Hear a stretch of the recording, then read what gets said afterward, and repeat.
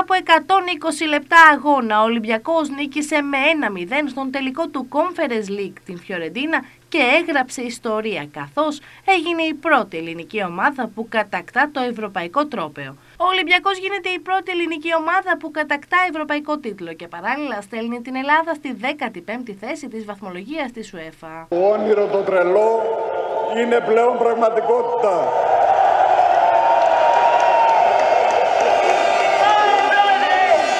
Για τον Ολυμπιακό μας, για τον Πειραιά μας, για την Ελλάδα μας.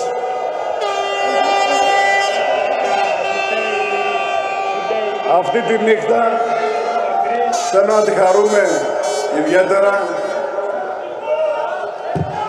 ο ατέλειωτος λαός μας, οι παίκτες μας, ο μεγάλος μας προπονητής και όλοι εσείς και όλοι εσείς που μας δώσατε τη δύναμη να συνεχίζουμε να ονειρευόμαστε και να κάνουμε τα όνειρά μας πραγματικότητα. Ζήτω ο θρύλος, ζήτω ο Πειραιάς, ζήτω η Ελλάδα. Να είστε όλοι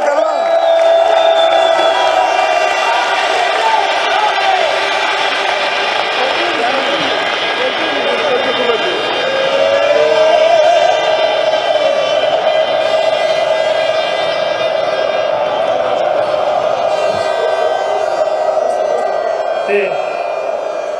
Λοιπόν, ευχαριστούμε όλο τον κόσμο που ήταν όλη τη χρονιά δίπλα μας.